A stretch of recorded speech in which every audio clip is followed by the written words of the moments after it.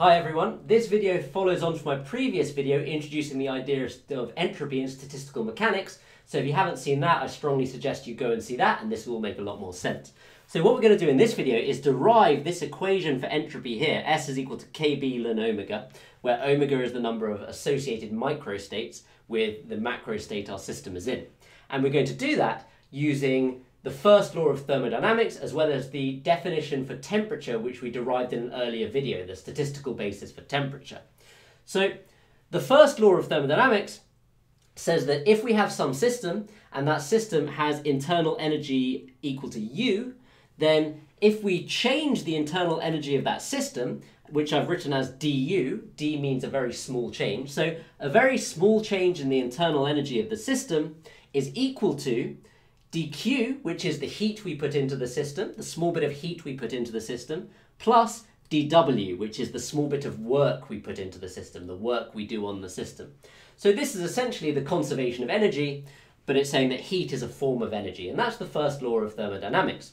So let's dive into this a bit further, and what we're going to do first of all is recall another equation from uh, mechanics, which is that force, capital F, is equal to pressure times area. Now I'm not going to go into that equation now, but that's a fairly standard equation. You can certainly look that up and how to derive that.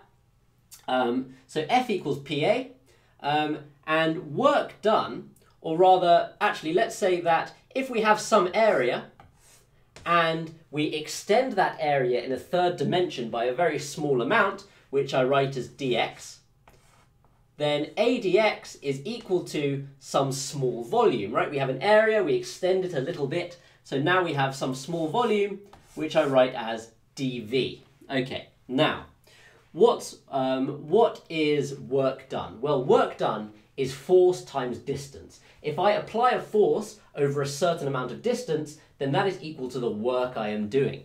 So, to work out an infinitesimal bit of work, dW, what I have to do is take my force and apply that force over some small distance, dx. Um, and what is force? Well, force is pressure times area. So this is equal to P A dx. Um, and A dx is equal to dV. So this is equal to P dV.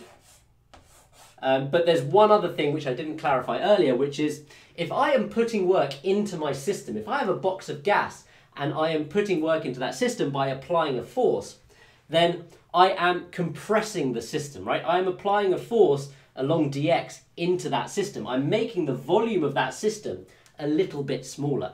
So we actually need a minus sign here right? Because as I apply that force, as I put work into the system, I'm compressing it a little bit. So the change in volume um, makes the system smaller.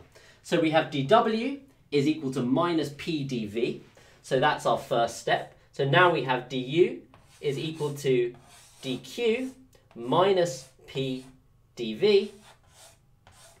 And then you'll also recall from our video on thermal entropy that we defined thermal um, entropy ds, so some small change in thermal entropy, is equal to dq over t.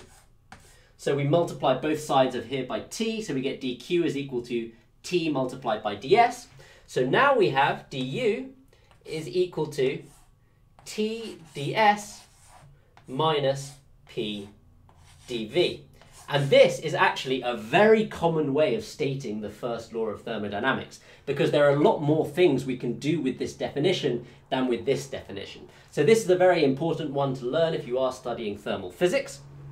Right, so the next thing we're going to do is we are going to say let's, um, let's keep the volume of our system constant. Let's hold it at a constant volume and let's work out the, um, the change in, um, in our system with, with regards to entropy. So what we're working out is du by ds at constant volume, right? So these are partial derivatives. And this is basically saying we are differentiating the internal energy with respect to the entropy, holding the volume constant. And what does this equal? Well, dV is equal to zero. There's no change in volume, so this term just goes.